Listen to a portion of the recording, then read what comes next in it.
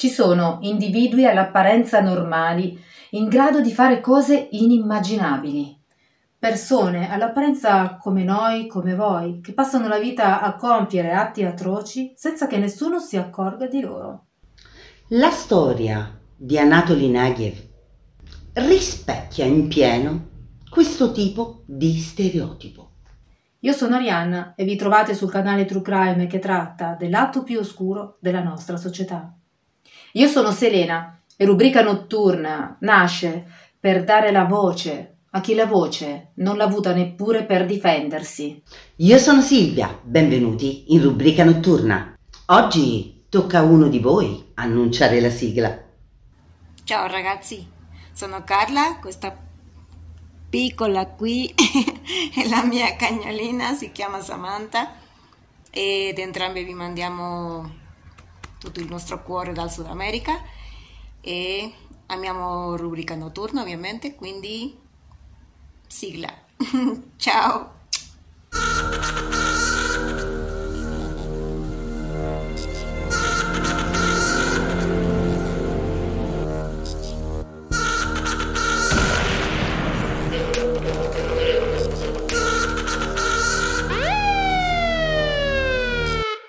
In una notte del 4 luglio del 1980, nel cuore dell'Unione Sovietica, un silenzio inorridito colmerà la stazione ferroviaria di Kursk.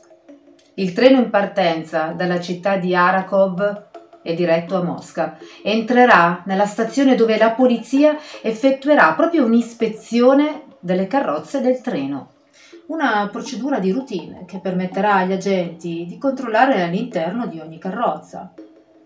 Gli ufficiali addetti al controllo, tuttavia, non erano di certo preparati a quello che avrebbero trovato al suo interno.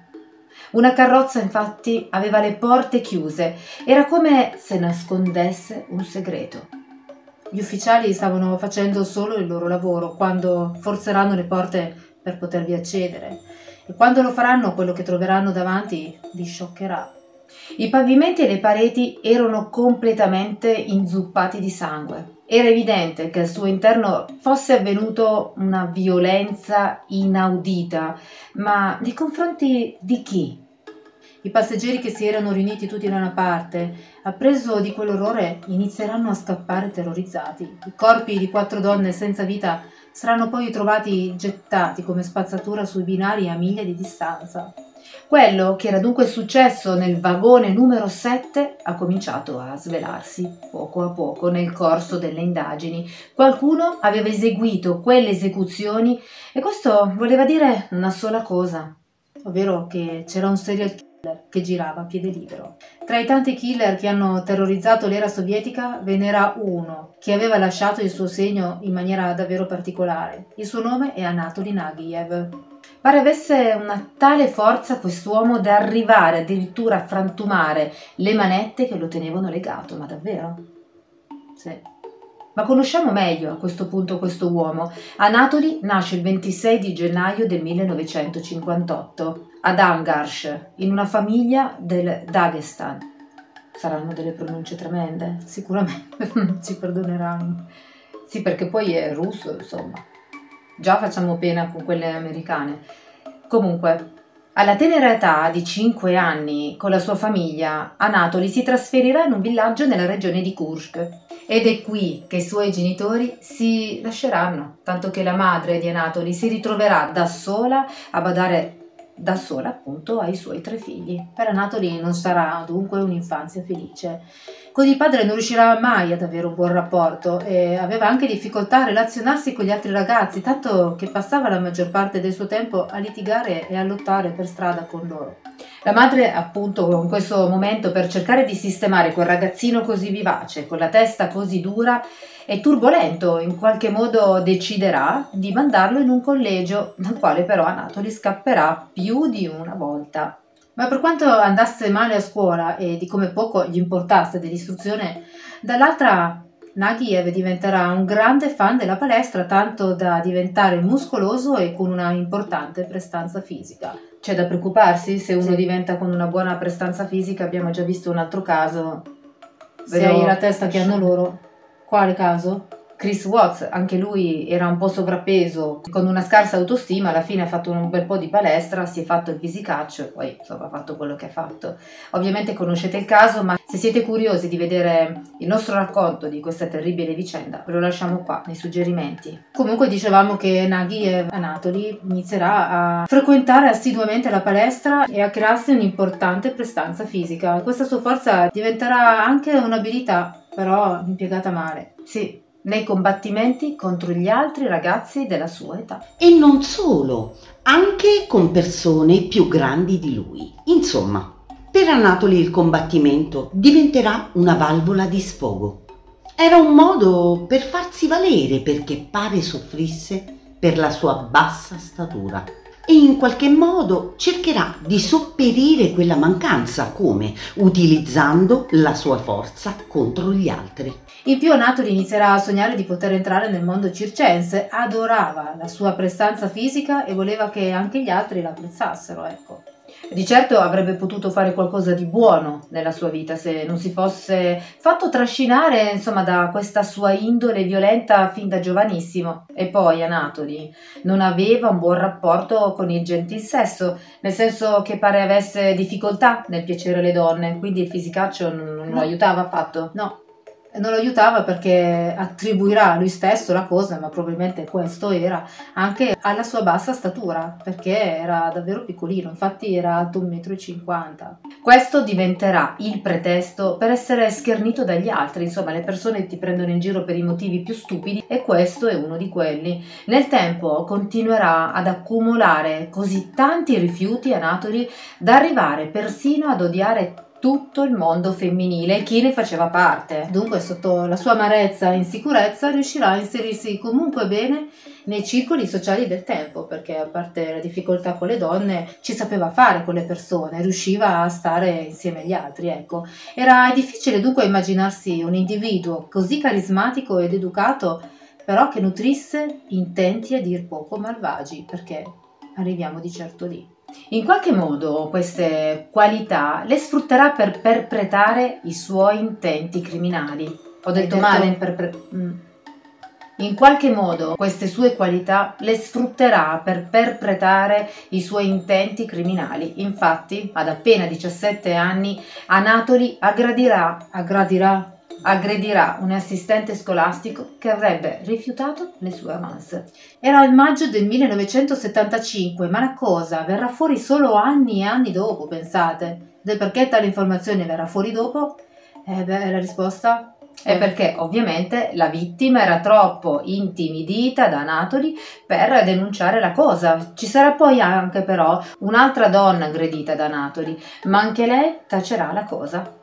Ed è questo che aiuta i criminali ad andare avanti nelle loro azioni. azioni. Anatoli si sentiva sicuro a questo punto, forte, poteva fare ciò che voleva con le persone. Infatti arriverà non molto tempo dopo la terza vittima. Tuttavia gli darà del filo da torcere perché lo fronteggerà e poi dopo andrà per fortuna questa volta a denunciare la violenza subita da parte dell'uomo. Ecco perché Anatoli sarà arrestato questa volta e imprigionato per ben sei anni e sarà mandato in un istituto correzionale nella Repubblica eh, di Comei dove ovviamente troverà personaggi violenti proprio come lui che cercavano di imporsi al suo modo di fare. Tuttavia lui è molto forte, ricordate, dunque saprà come difendersi, ma almeno non potrà più prendersela con persone innocenti. Ha trovato insomma pane per i suoi denti.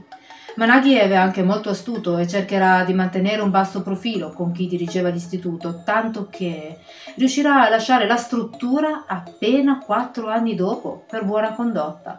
E questa buona condotta praticamente è male per tutte le vittime che arriveranno dopo. Così sarà trasferito in un insediamento di lavoratori in un villaggio chiamato Shikishino, come ricompensa ovviamente per il suo buon comportamento. E beh, certo, e gli verrà poi anche concessa la libertà nel 1979 mentre ancora stava scontando la sua pena. Ma perché non li lasciano in galera fino alla fine? Perché fanno i bravi bambini? Eh, infatti, e non hanno capito che una volta fuori tornano a fare quello che facevano? Ad un certo punto, comunque, Anatoli si innamorerà e lo farà nei confronti di una certa Alla Borisanova, un personaggio pubblico, una cantante di origine russe, conosciuta e adorata da migliaia di fan. Beh, trovato una brava ragazza allora. Eppure, nonostante l'apparenza fosse una persona irraggiungibile, data ovviamente la sua notorietà, Nagiev deciderà che doveva a tutti i costi guadagnarsi la sua ammirazione. Tuttavia quell'innamoramento presto si trasformerà in una ossessione. Ossessione che porterà ovviamente Anatoli a compiere un crimine, guarda che strano, infatti toglierà la vita a una donna mentre stava ancora scontando la sua pena. Sì, un recidivo di certo allora. L'omicidio avverrà il 30 gennaio del 1979 a Paciora, una città situata a 29 miglia da, C- da Shikishino.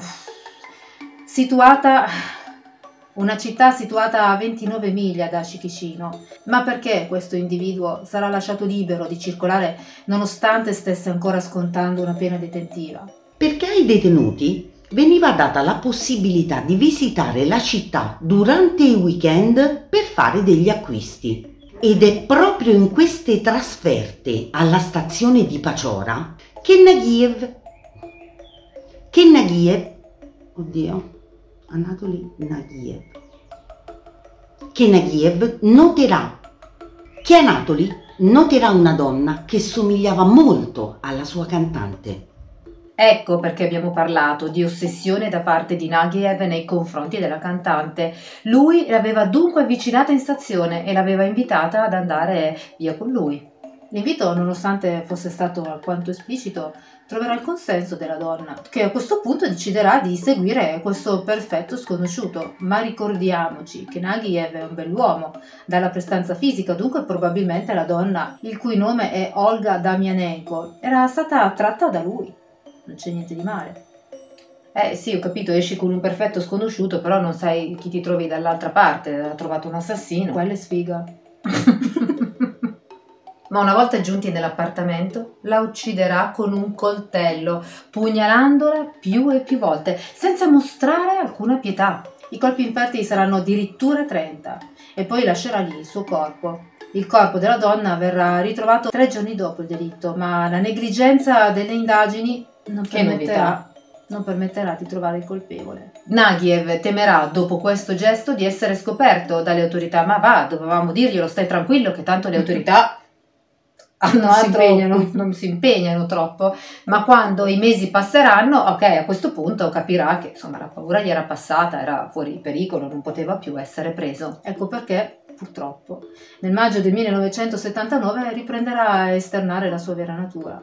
Infatti, in un viaggio da Shikishino a Paciora corromperà il capotreno con una piccola somma per assicurarsi di poter viaggiare in un vagone con una donna, una certa Daria Krakchenko, una contabile. Alla richiesta di lui di stare insieme, al suo rifiuto, cosa farà? Nagiev la pugnalerà due volte e poi, non contento, la strangolerà con uno scialle di seta che la donna portava sulle spalle. Dopo l'uccisione, Nagiev farà violenza sul suo corpo e poi adagerà la donna priva di vita sotto un sedile e cambierà vagone. Però prima gli porterà via anche gli orecchini, gli anelli d'oro della donna e basta, basta avanza, insomma. Il corpo della donna a questo punto verrà scoperto due ore dopo quando avverrà il controllo del vagone, ma nonostante il capotreno avesse venduto lui il biglietto a Nagiev e nutrisse dubbi sull'uomo perché era stato addirittura pagato per poter avere il posto in quel vagone insieme a quella donna, lui non segnalerà la cosa alle autorità. Beh, sicuramente perché non avrebbe potuto prendere i soldi. Esatto. Eh, bravo furbo. Nonostante questo, le autorità saranno in grado di collegare entrambi i crimini del treno. E questo perché il killer, Naghie, come abbiamo capito, aveva lasciato le stesse prove su entrambe le scene del crimine, compresi i fluidi corporei. Tuttavia, senza ulteriori indizi, le indagini si raffredderanno. Così, indisturbato come pochi, Anatoli continuerà a scontare la sua pena e nel novembre del 1979 sarà rilasciato sulla parola. Giustamente, fa il bravo ragazzo. Si vede? Adesso non è più un bambino, è diventato ragazzo. Comunque, una volta fuori, Nagiev tornerà a vivere nella sua casa d'infanzia. Per forza dove vuoi che andasse, altrimenti. E poi troverà anche un lavoro come proiezionista. Questa attività lo porterà dunque a viaggiare per il paese organizzando ovviamente proiezioni di film.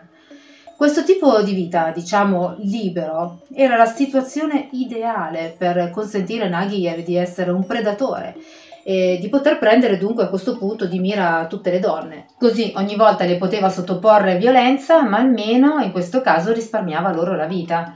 Successive indagini riveleranno poi che l'uomo, durante i dieci mesi di questa attività, avesse aggredito, pensate, almeno 30 donne. E si crede purtroppo che lo abbia fatto anche con sua sorella.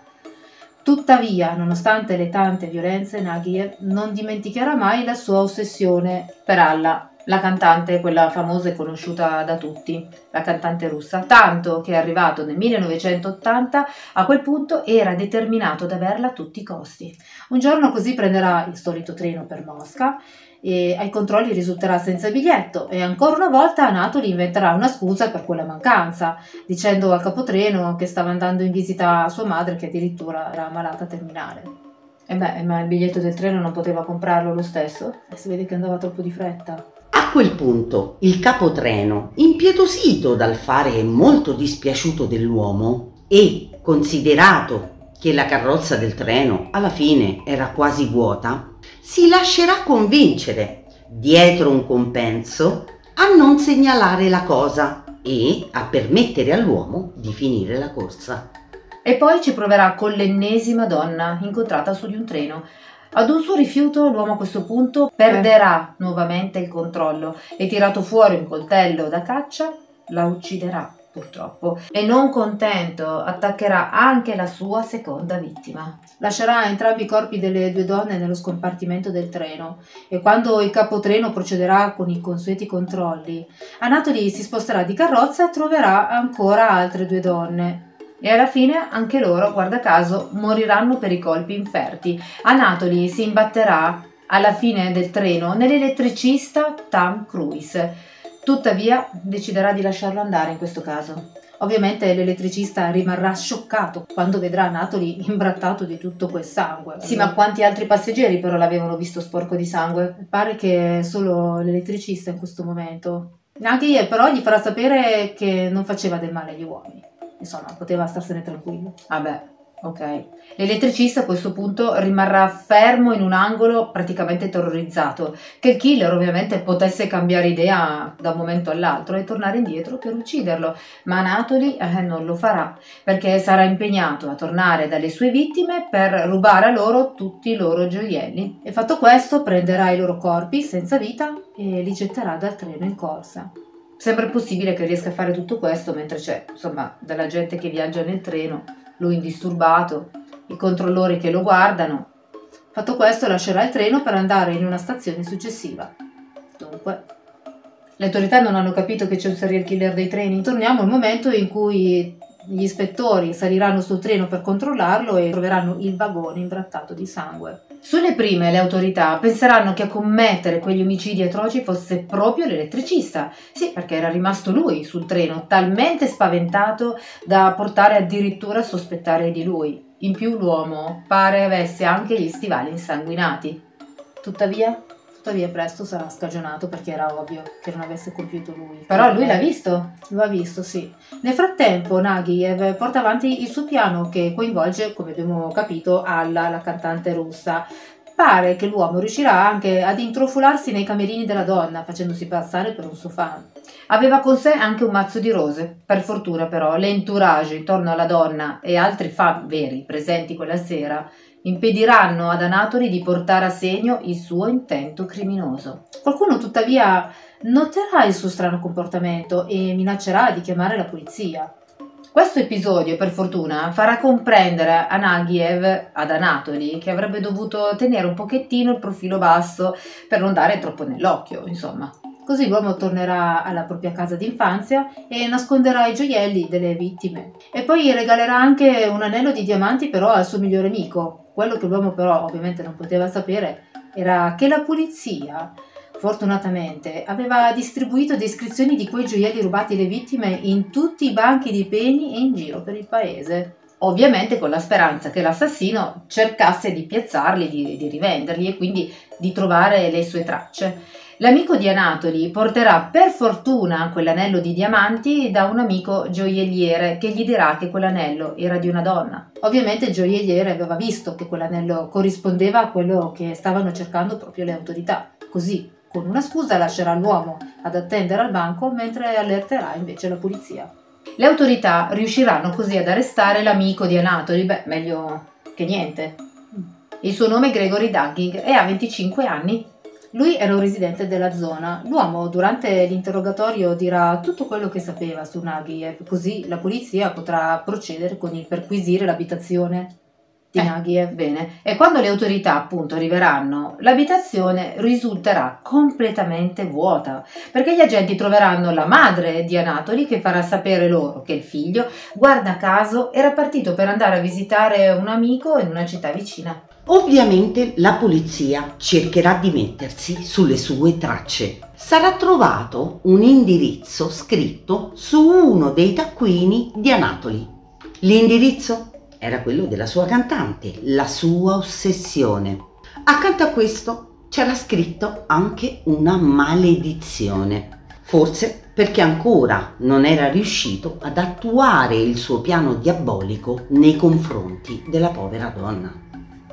Il 12 settembre del 1980 finalmente le autorità riusciranno a raggiungerlo e a metterlo in cella. L'uomo verrà lasciato con altri detenuti, i quali subiranno la sua ira. Uno rischierà addirittura di rimanere invalido per le percosse ricevute da Naghie. E un altro perderà addirittura un occhio. Insomma, abbiamo capito che è un tipino con cui è meglio non scherzare questo Anatoli. L'uomo rimarrà in carcere mentre le indagini proseguiranno per trovare ovviamente sufficienti prove per incriminarlo. Tuttavia Naghi cercherà di sopraffare anche le autorità, arrivando a cercare di strapparsi le manette con la bocca. E riuscirà a liberarsi, pensate un po', e a gettarsi da una finestra. Finirà a quel punto su di un tavolo, ma la caduta gli causerà danni alla schiena e questo almeno fermerà la sua corsa. Dopo le cure del caso, però, Natalie se l'ha riportato alla propria cella, ma non demorderà nel suo intento di averla vinta. Infatti, infatti utilizzerà un cucchiaio rotto, sembra la scena di un film, per pugnalarsi allo stomaco. Così sarà di nuovo portato all'ospedale per ricevere le cure necessarie. E ovviamente il suo intento era quello di scappare, una volta giunto presso la struttura medica. Tuttavia, lo staff dell'ospedale, allertato insomma, dal tipino che si trovavano davanti, vigilerà costantemente su Anatoli in modo che non potesse attuare il suo piano di fuga. E arriviamo finalmente al processo. Il processo Naghi inizierà nell'estate del 1981. Durante il processo l'uomo si fingerà pazzo per avere ovviamente come tutti possiamo arrivare a capire, una condanna più leggera o uno sconto sulla pena. Per fortuna però i giudici non ci cascheranno nel suo tranello e la sentenza per lui sarà condanna a morte. Sarà trasferito a questo punto in una prigione dove già altri famigerati killer erano finiti per subire la medesima sorte. Ma Nagiev non si darà per vinto, tanto che che cosa farà? Riuscirà ancora una volta a scappare nel trasferimento dalla prigione al tribunale. Questo avverrà proprio in una stazione ferroviaria. Abbiamo capito che ha un particolare amore per le stazioni ferroviarie. E attraverso una mossa audace ovvero l'uomo scivolerà oltre un treno merci per sfuggire dalle autorità. La polizia a quel punto riuscirà a rintracciare però la fidanzata di Naghi, perché si era fidanzato a questo punto? Sì. Che risiedeva in una fattoria a Rostov. Ovviamente chiunque avesse visto l'uomo aveva l'autorizzazione di sparare a vista. In fin dei conti la condanna a morte era già stata emessa in più era anche considerata una persona altamente pericolosa. Tuttavia la sua fuga si fermerà proprio alla fattoria e quando Anatoli si vedrà circondato praticamente dalla polizia tutto intorno, proverà ancora una volta a sparare contro di loro con un fucile a canne mozze. Ma presto ovviamente sarà colpito a quel punto dagli agenti e alla fine catturato. I medici a questo punto riusciranno a salvarlo per portarlo diritto alla sua condanna. È il 28 ottobre del 1981 quando Anatoli a soli 23 anni, incredibile, troverà la morte grazie a un plotone di esecuzione. La storia di oggi finisce qui. Un individuo che ha compiuto degli atti efferati ha pagato alla fine per quello che ha fatto, anche se purtroppo chi è finito sulla sua strada ha dovuto pagare con la propria vita. Grazie per essere arrivati anche oggi fino qui. Vogliamo sapere ovviamente cosa pensate di questo caso nei commenti, come sempre aspettiamo di leggervi con tantissimo interesse. Vi ricordiamo l'appuntamento con il Notturno Crime che va in onda tutte le domeniche sera alle ore 21, dove trattiamo solo casi italiani, dunque non mancate neanche a quell'appuntamento, vi aspettiamo. Noi ci vediamo al prossimo video. Anzi, alla prossima indagine.